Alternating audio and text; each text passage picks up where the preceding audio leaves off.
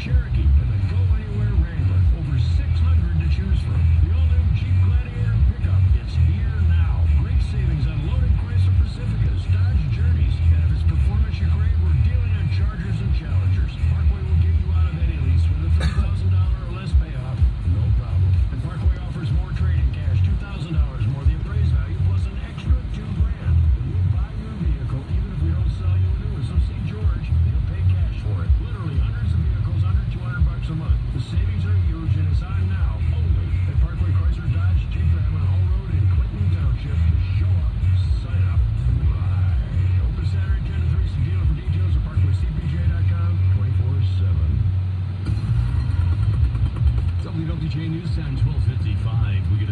business, Nathan Hager with our Bloomberg Business Reports. Maybe it's not quite the end of a retail era.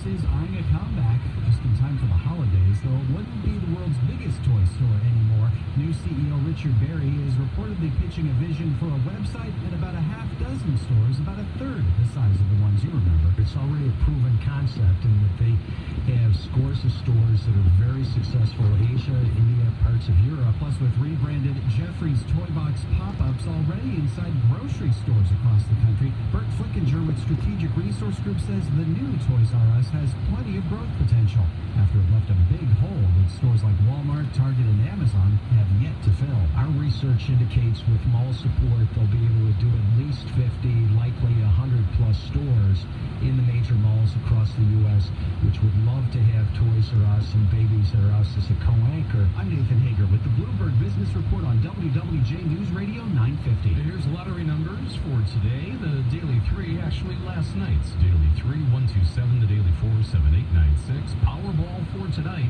it's 137 mil. 10 great brands, 10 great days, and one great offer.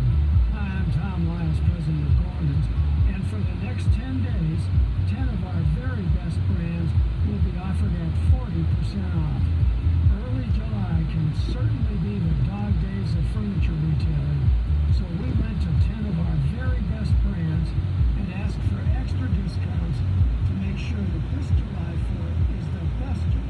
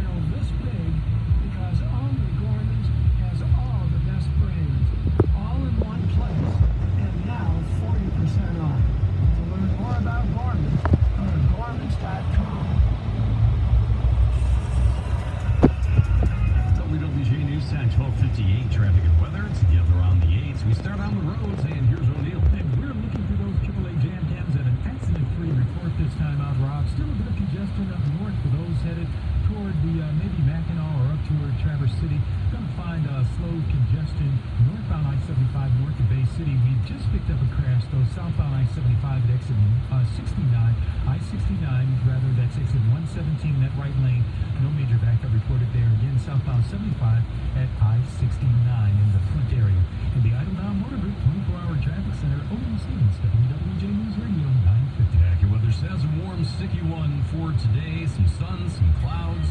High temperature at 87 degrees. 84 with sunshine for tomorrow. And it's a partly cloudy sky. 85 degrees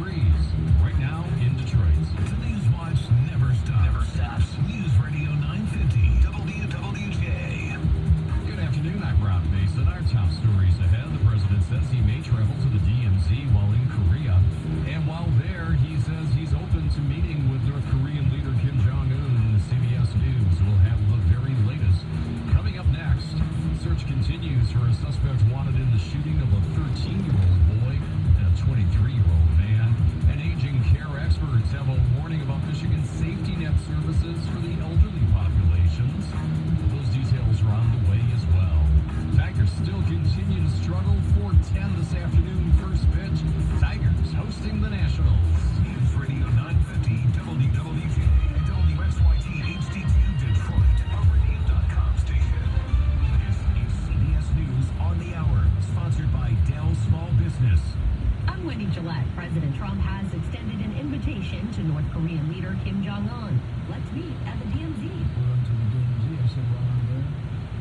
I'll shake his. We get along.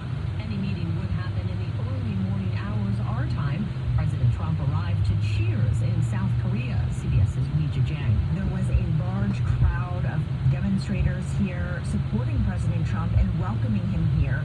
Um, in talking to some of those people since I've been here in Seoul, um, you know, they feel like at least progress is being made. They believe that President Trump has brought North Korea to the table to negotiate something that they haven't seen before. President Trump was in Japan for the G20 summit. That's where some progress was made concerning the trade war with China. A ceasefire was called, with President Trump agreeing to hold off on imposing additional tariffs. 9-11 first responder Lou Alvarez died at the age of 53.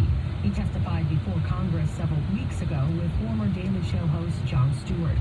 It was a push that went viral to get lawmakers to replenish the 9-11 Victims Compensation Fund.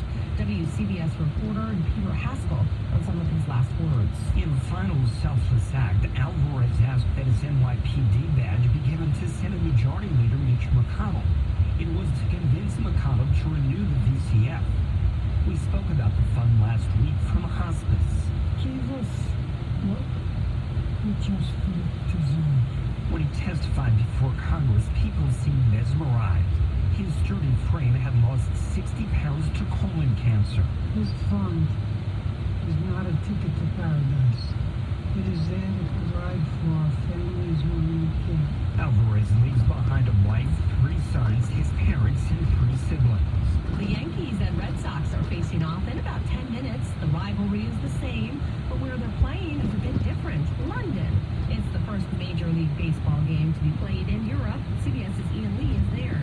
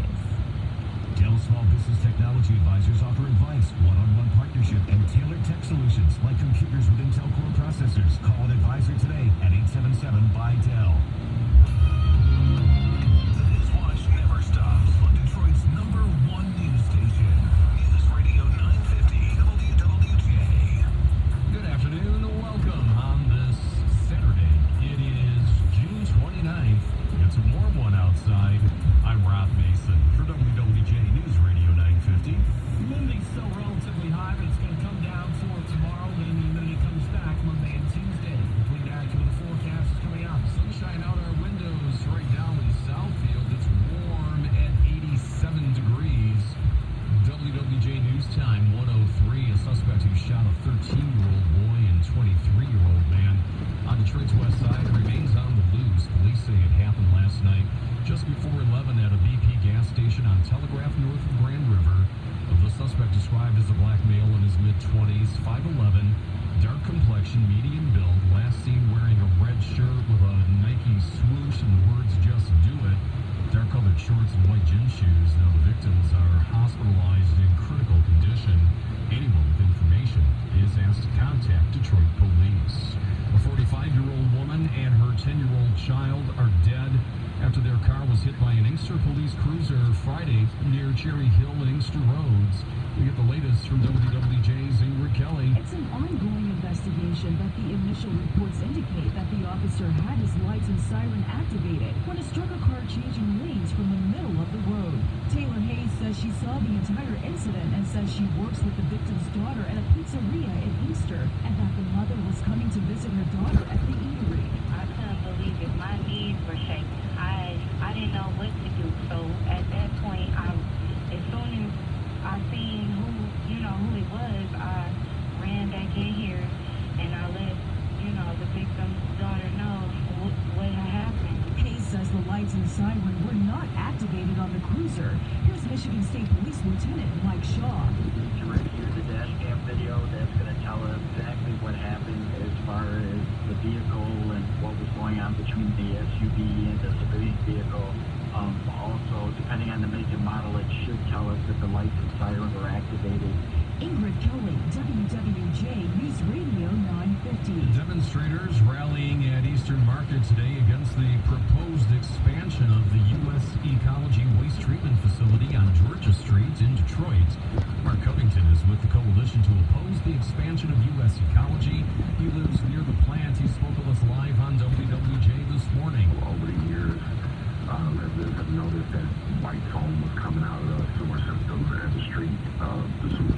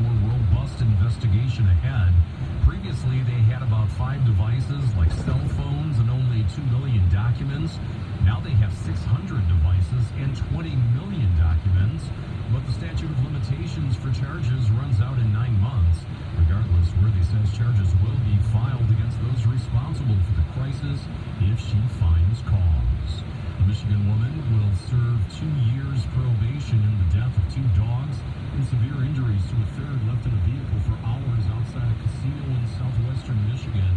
The Herald Palladium of St. Joseph reports that 50-year-old Cheryl Langford was sentenced Friday in Cass County Circuit Court. Prosecutors have said the dogs were left in the vehicle in April outside Four Winds Casino in Dowagiac.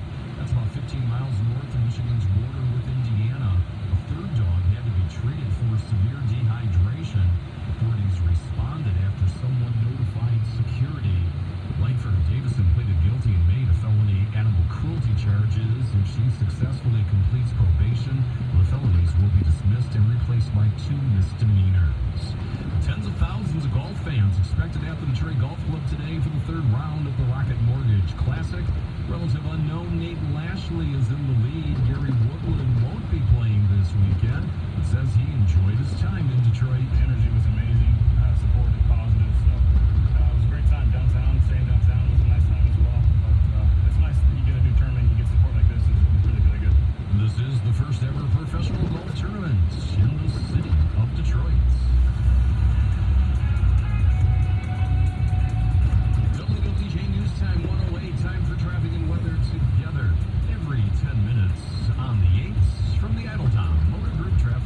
It's brought to you this hour by Idledown's BMW of Rochester Hills. We head out to the roads once again. Here's O'Neill. No accidents around Metro Detroit Road, but we do have a crash in the Flint area. Southbound I-75 at I-69. That's at exit 117. That right lane is blocked. Otherwise, a bit of congestion in the Bay area, Bay City area. That's northbound I-75 north of Bay City. We also have good news that northbound I-275 after Sibley, Pennsylvania Road, you'll find the left and right shoulders are now open after weekend construction. Still watching some slowdowns though. That's I-696. It's eastbound from I-75 to just before mile two right lanes are closed all the way to I-94. You also have that slowdown northbound I-75 and southbound I-75 right between M59 and University Drive. Allow for time. In the Idledown Motor Group 24-hour traffic center, William Stevens with WWJ News Radio 950. John Fear steps in with that AccuWeather forecast. Clouds and sun for this afternoon, topping out mid upper 80s. Getting a bit more comfortable tonight, partly cloudy, low 67. Less humid for tomorrow, mostly sunny, high in the mid 80s. More humid on Monday. Clouds and sun, a shower, thunderstorm around I-88. Clouds and sun Tuesday, thunderstorm in the area I-86. Humid Wednesday and the 4th of July with a few showers and a thunderstorm both days up to 87. This is AccuWeather's John Fear, WWJ News Radio 950.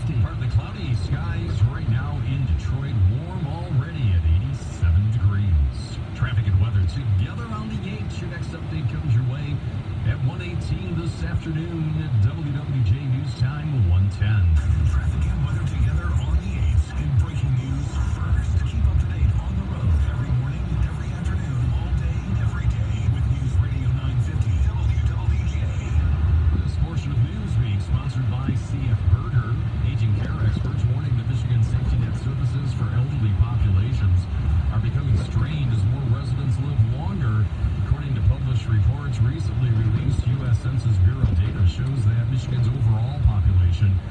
Median age of nearly 40 years. In 21 of the state's counties, though, that median age of residents is over 50.